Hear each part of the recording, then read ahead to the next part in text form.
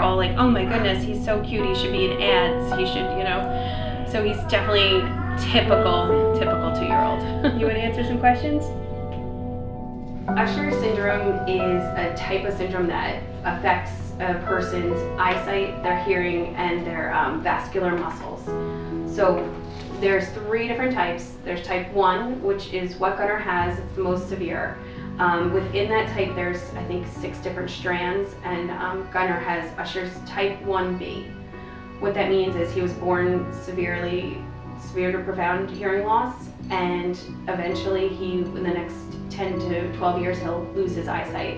And it doesn't happen all at once. It starts with their um, night vision, usually, and then it's their peripheral vision, so he'll lose like to being able to see the sides. And then eventually um, it could go to tunnel vision where he it would look like he's looking through different straws. We help him every morning. It starts with Gunnar getting his what we, we call them his ears put on. So and you know the boys will be playing in the back room and I'll say to Flynn like he can't hear you. He hasn't his ears on yet. And Flynn will like, mommy, put his ears on. So that's our, you know, step one of the day is to make sure Gunnar can hear us and get his ears on. Flynn is four. Anytime Gunnar hears Flynn's voice, he instantly wants his older brother.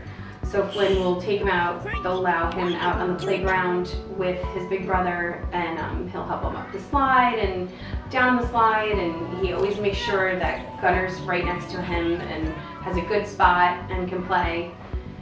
So he definitely is protective over his brother when the big kids are around, when they're outside together. He'll say, you know, you have to be careful of Gunnar. Watch out. When Gunnar and Flynn play together at home, they are typical, you know, two years apart siblings. They are any toy that Flynn has, Gunnar wants it. Gunnar. Anything that Flynn does, Gunnar has to do.